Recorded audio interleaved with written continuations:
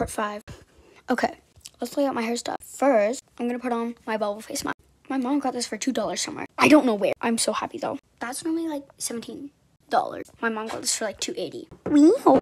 Alright, it came with this brush and now I'm gonna put it on. By the way, I've used this many times before. It feels super cool and relaxing and I don't put it all over my face. I only really put it in this area because um, that area is always the driest on my face. Alright, I think I'm gonna put this with my skincare from part four because I'm probably gonna do it in the morning too. I'm gonna put it over there real quick. Alright, I just put it over there. Now I'm just gonna let this dry. Okay.